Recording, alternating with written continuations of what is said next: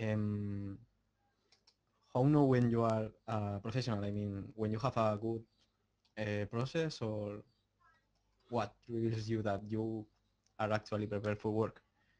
Um, when you start getting jobs, I guess. oh.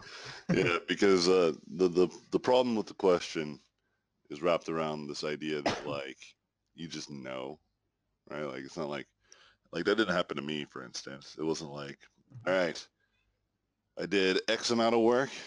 Now I'm a professional. you know what I mean?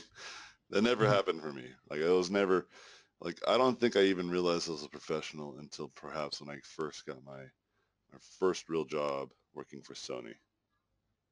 Uh, but that was already three years in. I was already doing work. It was like it wasn't that I wasn't doing anything before Sony. I, I just wasn't doing anything.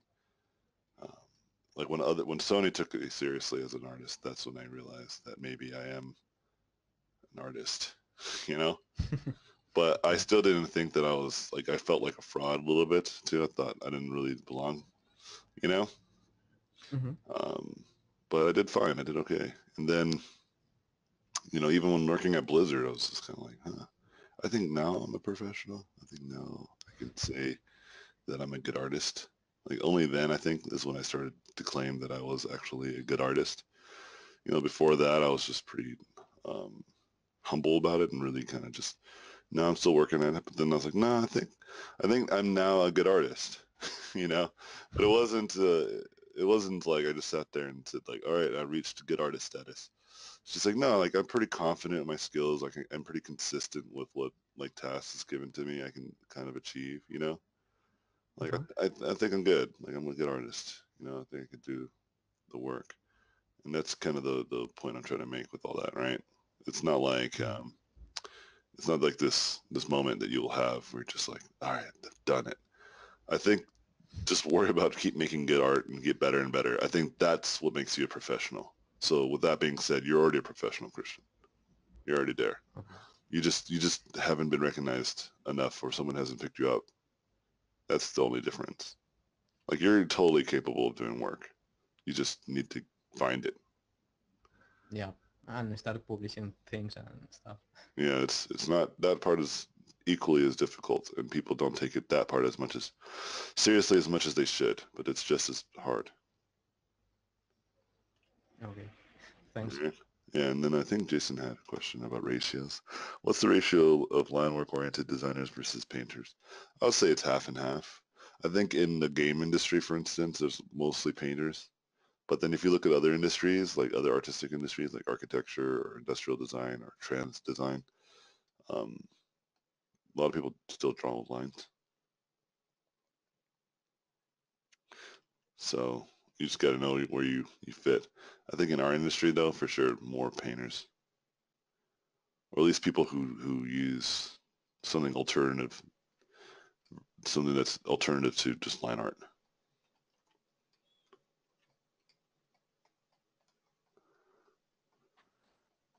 I got a question, AJ. Cool.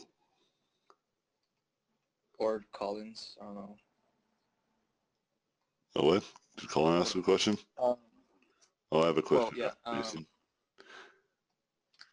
oh, I see. Yeah, maybe we should let Colin go. He did call dibs. Yeah. Yeah, go ahead, Colin. How dare you take Colin's question, even though you're the one that brought it is, to my attention. is yours uh, yours quick? Because you could go first if it's quick. Because I don't know, he might have a really detailed answer for me.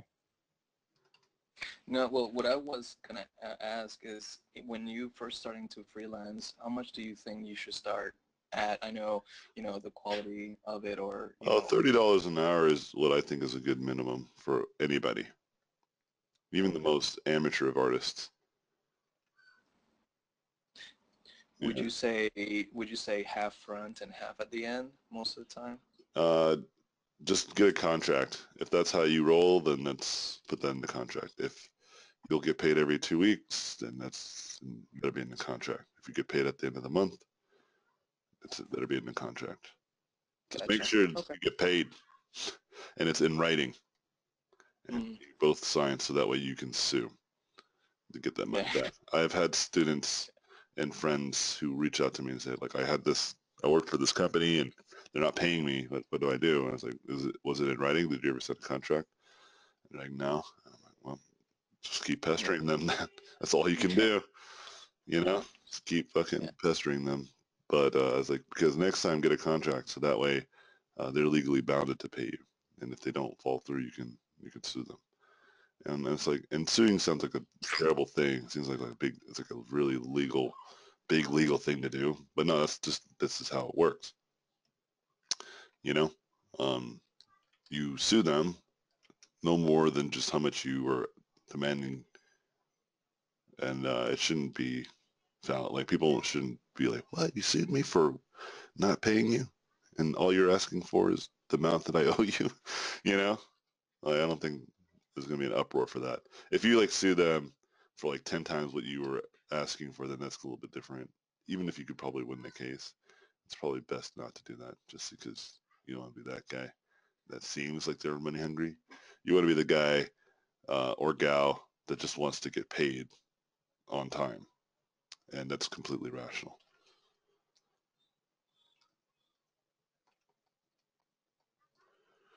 I, I personally have not sued anybody, but I know people who have, and it's always worked out for them.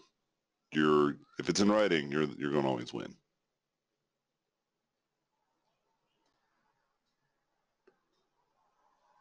All right. I think that's answered the question. Yeah, no problem, brother. No problem, brother. Go ahead, Colin. Ask your question. All right. So, um, one of the things that kind of gets me excited about being able to work in this field one day is um, I see like a lot of artists that get jobs in like different countries, different cities, get to travel and uh, you know see a bit of the world. And I was wondering if you like you have any uh, like insight into the whole like relocation to work at a you know, studio or like if you've done that or you know anything about how that works for artists who do that. Yeah, usually relocation they'll handle all the stuff for you.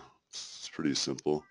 At least the better companies will. They'll spend the money and time to fly you out for uh, uh, in-person interview they'll have the time and money to bring you out to also just uh, educate you on the place where you're going to be. Uh, they usually will help you find the place too if they're, uh, again, a good studio. Um, but aside from that, uh, it's pretty straightforward, you know? Uh, so then the question really more is more wrapped around, are you good enough to even be approached? That's always comes down to it. But like, yeah, in my experience, I've never re- had to relocate for a job. Uh, mostly by choice. It's not that I was never approached by international jobs. I just didn't take them. Uh, there was one time where I could have moved to Spain, but I didn't. There was another time where I could have relocated to Scotland, but I didn't. And so, and in, in, in both cases too, something else came up. For instance, the Scotland thing, uh, I got an opportunity uh, here at home. So I was like, I'm just going to do that. I like living in California. And then this, this, uh, not Scotland. I already said the Scotland. The Spain thing, um, or maybe it was the opposite. Maybe it was the, the other way around. I forget exactly. But uh, again, another opportunity. And I think that that one was Sony.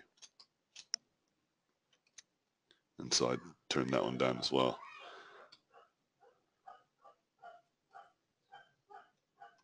So what is going on in the background there? My kid's playing. yeah. So like, um, have you known anybody who have like run into any like problems with that? Anything unexpected? Oh yeah, I have actually. I, I know some people, some artists who got kind of screwed up. So yes, so you have to double check. Usually, basically what happens, they, they did that. They left everything behind. And then when they moved out there, like the person didn't really take care of them and this wasn't necessarily a big studio. This was like another artist doing it to other artists. So it's kind of sketch. Um, and so I always say, just do a little bit more research. Always, you know, always be considering, you know, alternatives. Uh, but in most cases that I've seen friends travel or relocate, um, it's it's pretty good. Like the the story that I'm referring to was someone that was like I know them well, but I'm, they're not like we're not really, really close or anything. I just know them because we share mutual love for being concept artists, you know, and we just talk every so often. Right? So you were talking about um, being good enough to get that. Like, hmm so are, are you kind of saying it's like more like once you're at the top of the industry, that's the kind of opportunity you get? Most likely, yeah. Because um, not always, because I wasn't the best in either of those instances that I told you, right? But in one of the instances, I was good enough to get an opportunity at Sony. So that does say something about where I was at at that time, you know? That I was approached by Scotland and then also Sony at the same time. Does it make sense? Yeah. And so, uh, but I wasn't near nearly as good as I am now, right? But uh, I was good enough. That's why I say you have to be good enough. Because think about it, they have to pay for you to fly out there. They have to pay for you to have living space. You know, they have to pay for your documentation, potentially your work visa, all that stuff. You know? A pretty big investment. Yeah. So it's it's like they're not going to hire just a junior art level artist. They're going to look locally for that, right? Like at least if they're a smart studio, they're going to do that. you know. Um, but you know, things have changed. I think more and more people are working remotely these days because it's possible, right? I even told myself that if I start developing this game uh, stuff that I'm doing already and I build a big reputation for it and I start building, expanding, uh, I have no problems with letting people stay remotely where they're at and uh, just try to build a workflow that works with that kind of circumstance, Hmm. you know? So like probably at a at like my level, like it'd be pretty pointless to even apply for a job that Uh, you should always try. You should always try. I'm just saying, don't be disappointed. Oh yeah, of course. Okay. Not. You can always try because there could be an off chance that they do gen- genuinely want your skill set. Because you got to remember, just because you maybe you're not like an excellent painter doesn't mean that they don't like your designs. So I always say like focus on that because that's usually what gets people to turn their heads in the first place, and then what gets them to to look like dramatically at what you're doing is if it's like really good, you know. And then they like the good makes them like say, whoa, this is this is really outstandingly uh, outstandingly painted, and then they're like, but it's also like just a really cool concept, which I'm more of a big fan of. I'm a big fan of people doing cool concepts than just um, really nicely rendered stuff. Yeah, because a lot of the time, like the stuff you're doing is just going to be made into a 3D model and wouldn't have really mattered if uh, how well rendered it was, Mhm. unless they're going to put it in an art book, right? Nah, the there's an argument against that, but you're right. Like it all it all depends on the context of the studio. But uh, the reason why you do want to render stuff and have that quality is it lets people who know nothing about you discover you much easier. But also it's a good skill set to have because when you're working in studio, you have to send like a fully rendered thing sometimes to somebody who has no clue or no uh, direct communication to you, and they have to make that thing. So if you don't have enough information in your concept, you know, there's going to be a lot of back and forth. I've seen this personally happen in my own work. Hmm. So, or like I would pass something on that wasn't, that was half-assed by me, and then like just constant mistakes on the modeler's end, but it's not entirely their fault.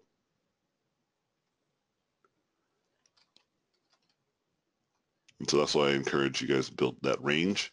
Having the ability to render and paint well allows you to, to accomplish quite more.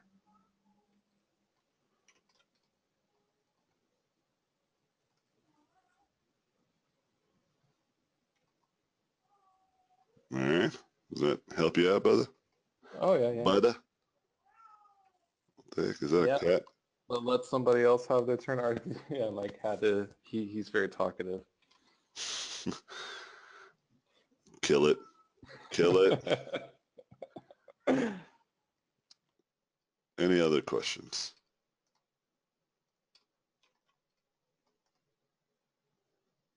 Hey, can I? Well, nah, you can't. Anyone else? yeah, of course. I'm not taking it. seriously. Uh, uh, one is uh, for, for further assignments. I, I, haven't watched all your videos yet, but maybe you answered that one. How would one go about now at this point that I'm in at? Uh, uh, you take one concept, you enlarge the resolution and start detailing. Uh, how much would, how, how, big of a file would that be? And, uh, yeah, usually at least 3,000, if it's a portrait like what I'm working at, like 3,000, 6,000 is a good resolution for a full character. Mm-hmm. Right, like this is not a full character. Like this is like a bust. And so it's fine that it's, um, you know, at this scale. But if I wanted to like like do more of a full body, then instead of shrinking him, I would increase the canvas. Mm-hmm. See? And I kind of will do that now. You know? And then that's, cool. that way it's still higher resolution. And how, how, uh, how does the, I'm not familiar with the process. How does it go that the, someone asks you to build a character and, and mm -hmm. then it takes like a month or so you said for some artists to develop one character? Yeah. So in the industry, um, it just depends on who you're working with. Sometimes your, your boss will see one of your concepts in your sketches and just be like, that's it, we're done. And that rarely happens, but when it does, you're just like, what? Okay. And then uh, there's other instances, which is more likely to happen, where they just keep on having you iterate. So that's why getting you guys used to iterations is kind of the, the goal here. Like you need to be able to constantly be changing your designs, you know? And because uh, that's the most practical skill you'll need to have. Um, but then you also have to be able to take those those iterations and designs to the point where they actually make sense. Uh, so you'll do the the front, the top, the afterwards. yes. Model, yes, yeah. sir. Yeah, you're already on top of it. Yeah, that's pretty much standard. Is this this um like you got to make it so that someone else can can make it and if you don't have that, then yeah, you're going to be really screwing up the pipeline a bit. See, the thing about it, like mm-hmm. our job as concept artists, you know, is to make it easier for the rest of the pipeline to visualize the, the results.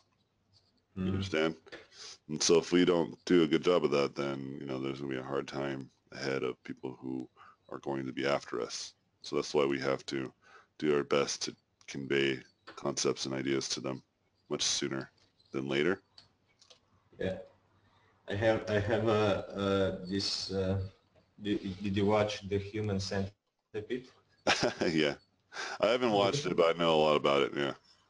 Yeah, yeah I have the poster because I'm uh, rendering and compositing things here at our firm, and I'm the one at the end getting all the crap. Yeah. So, yeah, uh, that's funny. cool. Thanks, man. Yeah, that's that's uh that's like remember like our job is like to create the blueprints, you know.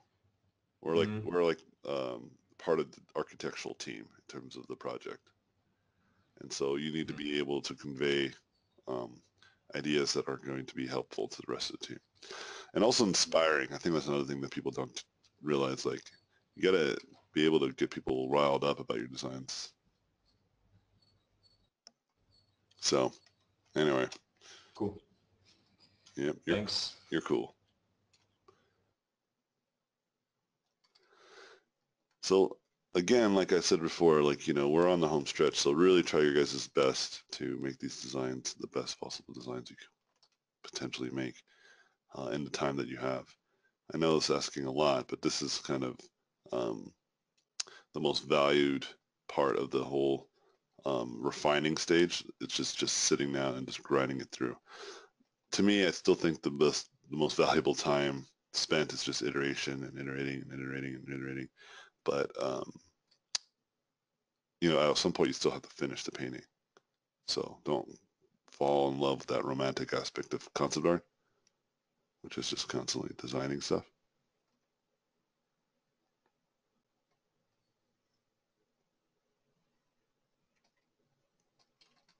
Like you have to move on eventually. So.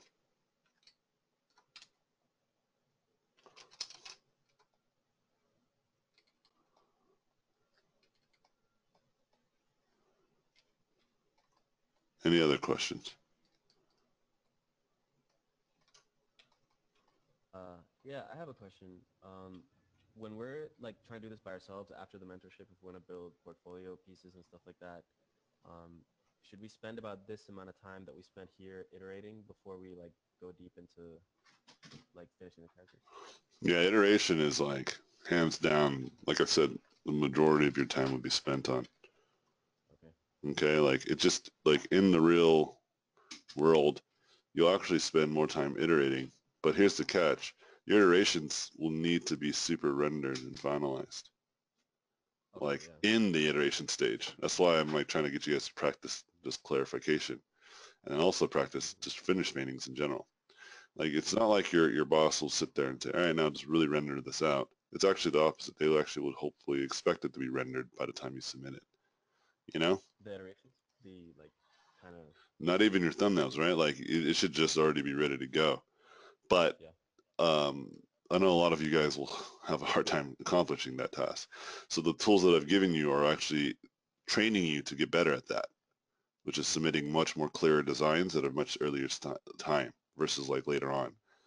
You know, um, being really good at iterating quickly, knowing that you can get more done with less time, stuff like that, because it'll make you and prepare you to become that much more of a badass. You understand? I mean, yeah, this piece you're doing now has been really quick. Um, would this be like uh? Yeah. So this, thumbnail yeah, this would be like my thumbnail. Absolutely. Okay. Okay. So you see like this, this, the scale of difference between your guys' thumbnails and my thumbnails is very obvious, right? So that's a great observation. Like, but that's my point. It's unrealistic for me to like, if you guys don't draw just as, as good with every thumbnail, you'll never make it. Because I was never that good either, you know. But I still made it. Um, but I made it because of I did like the stuff that I'm teaching you guys. I did stuff that taught me how to get better at iterating, taught me how to get better at painting. That's why I say thumbnails should be clear. So if that's all you can give to your art director, at least they can get a good sense of where you're going. And that's why I say your iterations should be rendered at some level, right? Because you've you've done at least a lot of the heavy lifting with the thumbnails, which is design. Mhm. Now you just got to like refine the design and make it clear, like where we now know that's a belt buckle or whatever. And if you just keep practicing this, and you also you finish paintings, that's also another key, because finishing paintings will teach you what you did wrong in the beginning hmm like I said earlier, to to blush, right? And so like you have to to take that same insight and say, okay, well, you know, in time, my thumbnails will look more realistic or more finished because I just will be practicing um, a lot, you know, and I'll be training a lot. And uh, I always say, you know, um, your fastest, don't compare your your best time with someone else's best time because it's not realistic. Because there's there is people that have different paces and different amount of training and experience than you did, and that's like it's not fair. Like you to compare yourself to me now is unfair because I have a head start on you. You know, let's see where you're at ten years from now, right? And if you did not get any better than me where I was today, then what are you doing all those ten years, right? Yep. Um, but I assure you that won't happen. okay, I promise you. If you if you keep at it, and this is true for everyone, if you guys keep at it continuously and constantly, um, you should surpass me in every single conceivable way. Um, but here's the thing, I'm still a young guy, so I'll still be moving too, yo. you know what I mean? And so we'll see where I'm at in 10 years, especially if I keep painting, right? And so, um, yeah, this it's a saying by uh, Leonardo da Vinci. It's like, poor is the pupil who does not surpass his master. Meaning, I feel bad for the student who doesn't become better than their teacher. And I agree with that sentiment. Like, I'm teaching you what I didn't get to learn when I was at your level, right? I had to learn all of this, most of this on my own, right? Uh, I had to like seek it out. There was not a mentorship that I could just take of one single person for like a month that, you know, that didn't exist for me at least. Right? And if I didn't want, if I wanted to take classes from super epic teachers, it costed like an arm and a leg, and I had to drive, you know, and that was very difficult for me at the time, especially because I had children, you know, and so, or I'm sorry, not children. I was just having a relationship with my uh, girlfriend, and at the, now girlfriend at the time, now wife. And I remember it was really rough, and so, and that was the only alternative. You guys can do it in your pajamas now. right? You guys can all literally be in your pajamas as we speak, eating some popcorn. Like it's it's become much more accessible. Yeah, it's just way more accessible to get this type of education is what I'm trying to get at. Yeah. Right, and so um, a lot of what I had to do, yeah, I just had to really just kind of grind it out. I would, and I didn't have a lot of money either at the time, so I had to like just rely on resources outside of um, just taking classes. It was, it's like I love I love this whole idea of like back in my day kind of mentality because it's totally what it sounds like. Back in my day, we didn't have YouTube and the internet. Like we didn't. Yeah, actually, I'm closer to you. I'm a little older. Um, yeah, so so you probably get it. This, yeah, I was having this conversation with uh, my cousin who's trying to get in now to school, and he was asking me all these questions. I'm like, well, you don't, you don't understand. We didn't have like, you know, image search engines that were that good. We didn't have. Isn't that funny? Isn't that funny that we're not old?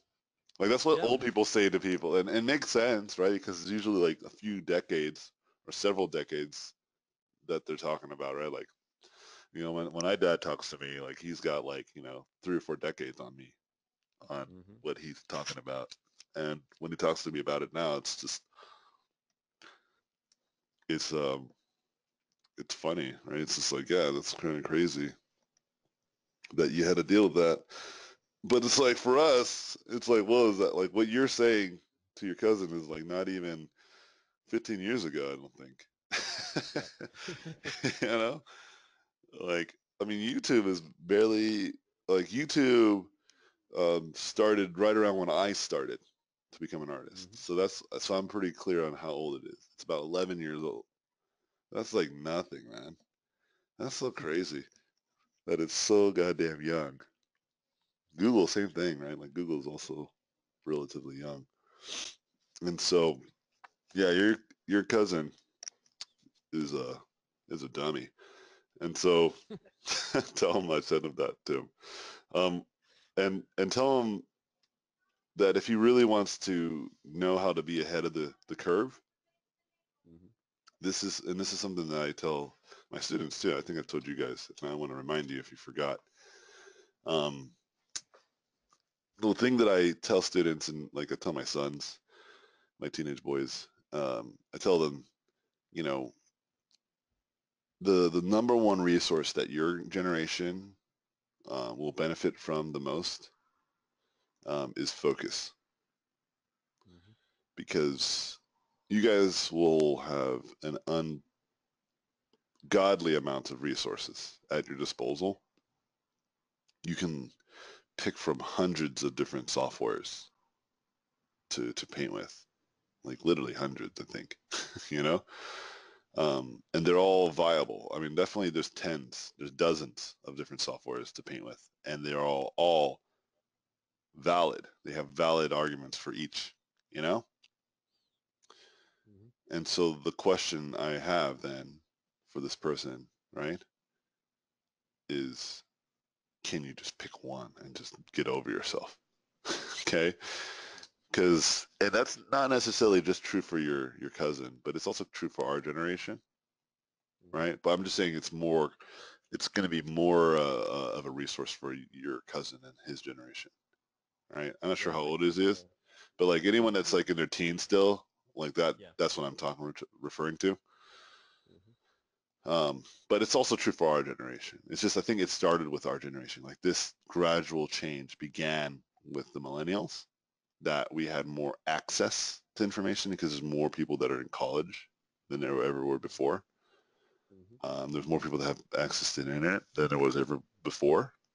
It's just that like my kids, for instance, my daughter and my son, who are just still babies, like they like walk up to a TV and they start to touch it and try to make it do stuff and it doesn't do it.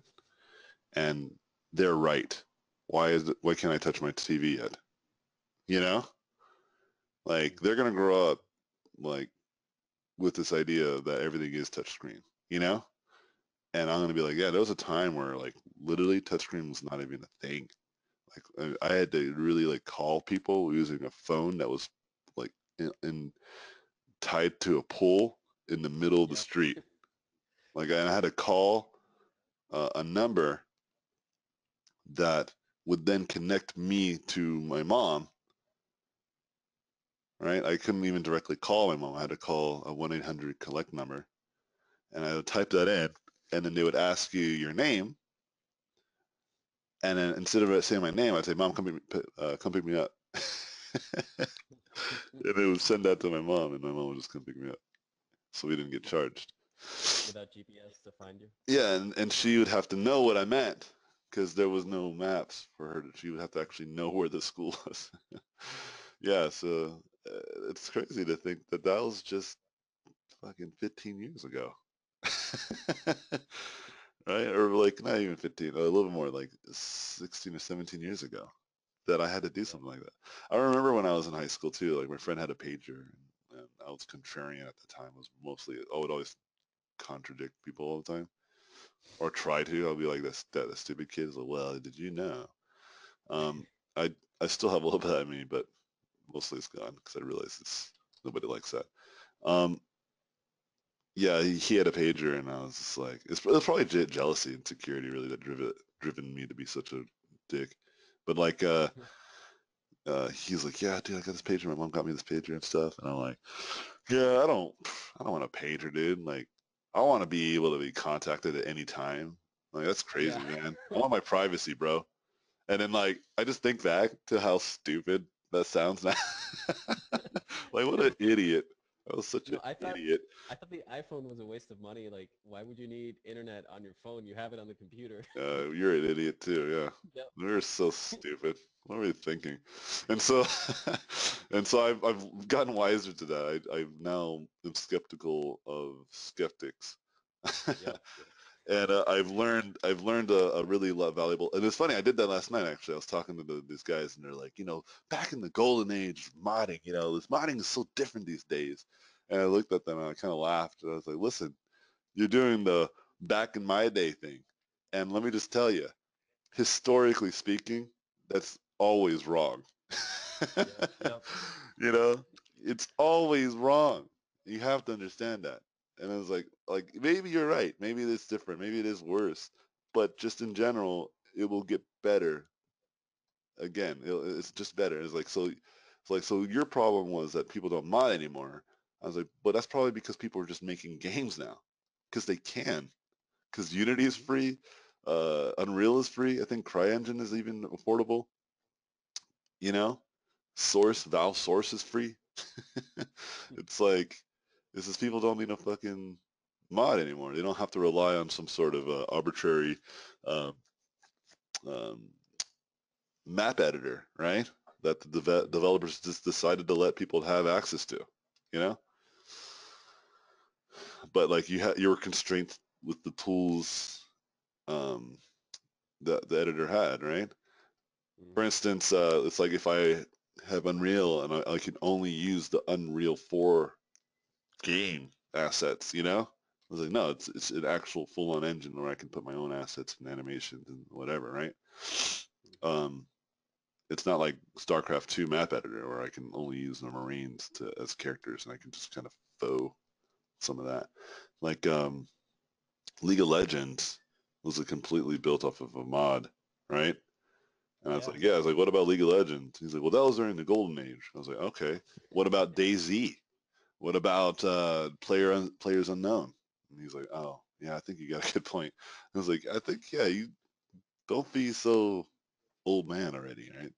Always realize that you might actually be fucking wrong every single time, especially with that stuff. So like, yeah, yeah, you know, I'm like right now, um, yeah, I, I, I'm paying attention to what is the most valuable resource for the next generation, and it's it's definitely going to be that. And let me be clear too, it's not that um, that it's anything new. I actually encourage you guys to stay focused in general. Like that's always just been a general rule of excellence. Okay? Mhm. It's not that it's like it's only going to be uniquely true for this uh, next generation and ours. It's just that it's going to be compounded is all, right? Uh, because uh, when I went to school, um, since we had limited resources, it was easier to stay focused. You understand? Yeah. Like ZBrush was like the only 3D sculpting tool available. So like I needed to learn 3D sculpting in ZBrush and that's the end of the story. You know? Yep. And so uh, that's what I'd tell you, you to tell your cousin. Tell him he's an idiot. and then he needs to focus. And then that will that will bring him great wealth in his life. Yeah, I will relay that. Yeah, and you take that advice as well, as well as everyone else in the class. It's, it's super helpful.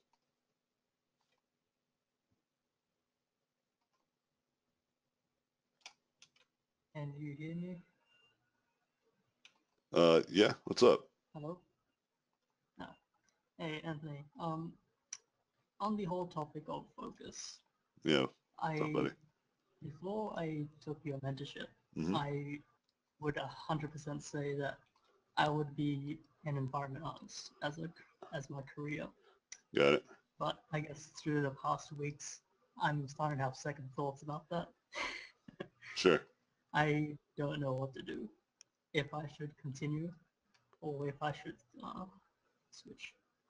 Well, uh, the question really is simple. Which one do you prefer? I don't really know.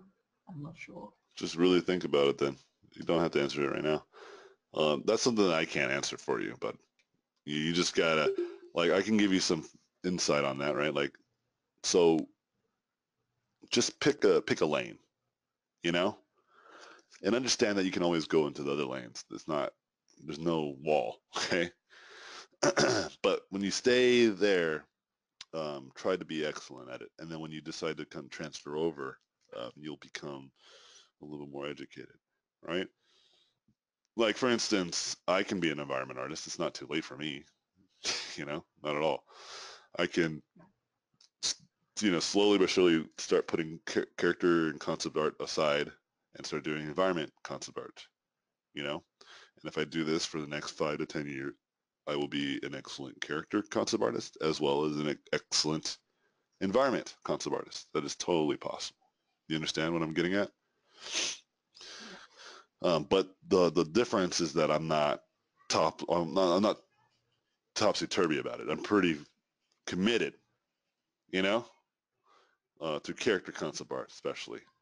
But uh, one thing that I shifted into was teaching. So I did like five to six years of character concept art, and then I started teaching, and teaching became something that I really, really, really, really passionate about. So I did that for like another five to six years, and and in that same time, right? I'm sorry, like four years of like concept art devotion, and then like six years of like teaching. But the thing was is that the six years was also teaching character concept art. So I was like also accelerating the thing that I even started originally. You understand what I'm getting at? Yep. and so then um, now I'm really into this game development stuff, and I have been since last year, or actually even two years ago. You know, but I've been slowly learning that stuff as I also adjust my life, right? But now that I've gotten myself back in the position where I can learn again, you know, I'm like full throttle back into game dev. You understand me? Yeah. And uh, and so that is now something that I want to be really good at. I want to be really good at game development, specifically now. Like I was starting in Unreal, I was even considering moving over to Unity, and I still might, you know. But I found a real love for the software called Play Canvas, and I'm afraid if they don't get enough attention, they might fall under the wayside. So I need to learn core principles, which it would be I need to learn JavaScript and like actually need to learn how to code. That will allow me to take it somewhere else. I believe Unity has a JavaScript coding application inside of it, meaning I can code with JavaScript in Unity, right? And Unity doesn't seem like it's going to go anywhere. So I'm like focusing on core. And core ideas would be in Unity or even Unreal. I already know how to do Unreal. I don't. I feel thousand percent confident in Unreal. You know. Yeah. So it's not like I don't have any tools that I can fall back on if this shit hits the fan. But my point is, is I'm not afraid of that, right? I'm not like, well, I'm only going to be an Unreal uh, developer, right? No, I'm just going to be a game developer, and whatever tools happen to be the best, I'm going to use, and whatever changes happen, I'll just adjust. You know, and so I'm focusing all my attention on game development and the tools that will allow me to develop quickly and rapidly, right? And that's it. And so I'm spending a lot of my time doing that these days. You know, all my spare time, aside from hanging out with the kiddos and my wife and friends, uh, I am doing what I'm just telling you, you know? And uh, it's, it's focus that I have that I don't think a lot of people appreciate. You know, people try to demonstrate that maybe I'm just a, talented individual. Uh, no, if I had any talent, I guess my talent would be that um, when I decide to do something, I just stay with it until um, I become super prof- proficient at it. You know what I mean? Yeah. And uh, I know it just takes one day at a time. It's, I I do what I preach. You know what I mean? I don't just tell you guys silly shit and I'm just like and then just hope that you guys understand. Like I, I am really clear about what it is that makes me as good as I am at the things that I'm good at. What the lawnmower? Um, let me uh, close my window. One second.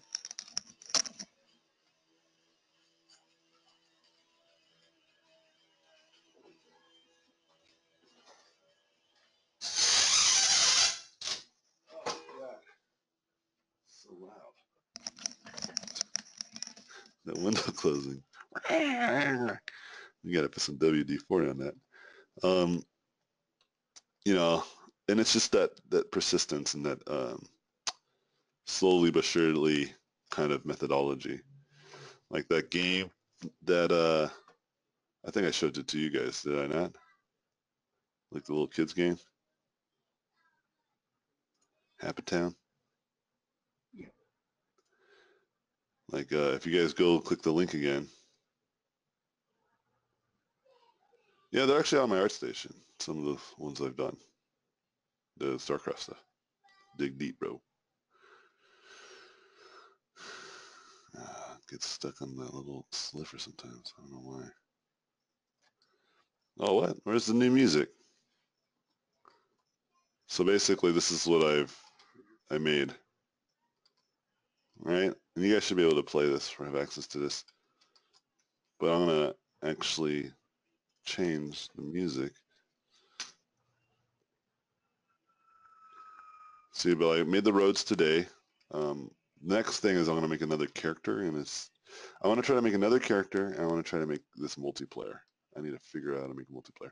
So that's the two tasks that I have to do next. Make a new character, one that my daughter designed, and then um, uh, make a multiplayer so me and my daughter can walk around in this world. There's nothing to do, just other than just walk around and looking at stuff. But uh, I was watching her play this Roblox game too, and I was like, there was a really cool part of it that um, I don't like how it like did dithers like that. I wonder if there's a way to fix that. I would have to ask the forums. I'm sure they would know. They would have an answer. Um, but anyway, well, actually, maybe there's like a, let us see, rendering. Do any of these do anything? No, nothing. I'll have to figure out some other time. But I did put new music in here, I think. Happy upbeat background. Yeah, that's going to be better. So that country music. So then I can publish this. It's as simple as this. Just added new music. And then I can just go 1.1.4. And then publish now. And then make this the recent build. So now that I click on this, it should be the better music, not that country music. found like some royalty fee free happy music just floating on YouTube. Extracted that shit. Oh, adding that mu new music. That's a little bit longer loading time. Yeah, there you go. Yeah, my daughter likes the music too. You guys might not be able to hear it, but I hear it. Do do booty dance. Oh. If you hold one and you can booty dance. I'll let you guys enjoy. anyway.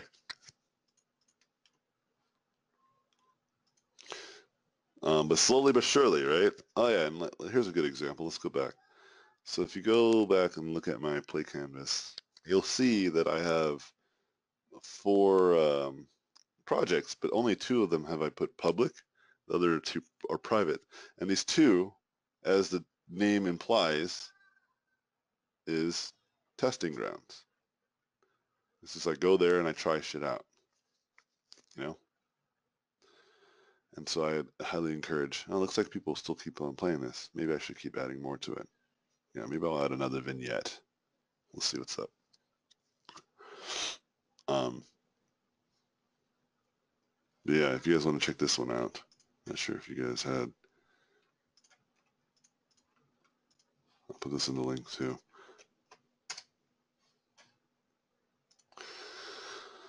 Anyway.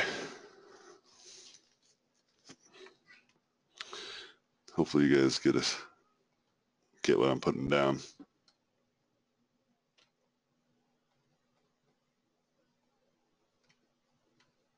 And so I just slowly but surely am going to be better at it. And so stay stay laser focused. Okay?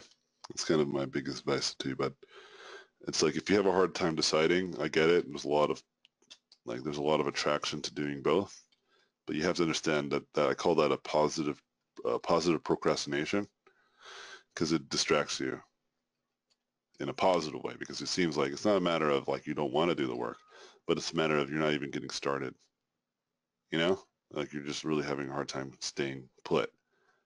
And that staggers your growth.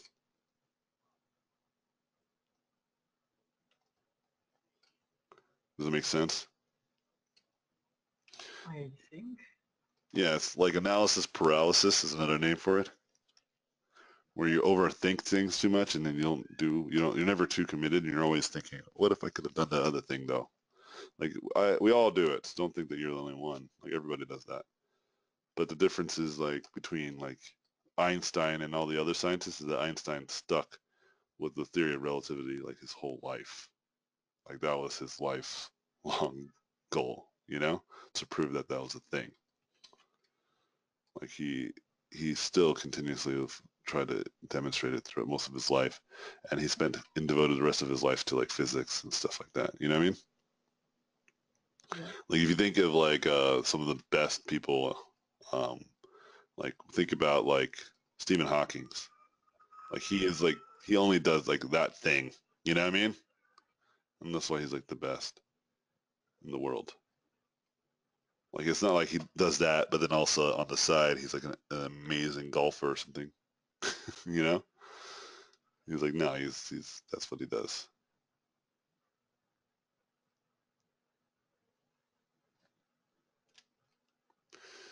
I'll take on one more question and I'll let you guys go.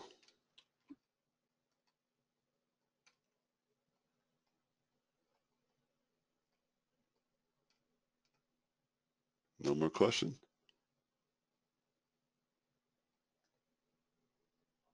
All right. Well, I appreciate you guys. Uh, hope you guys had a good class. Um, like I said, this is like the home stretch, so try to push your work as best you possibly can by next class.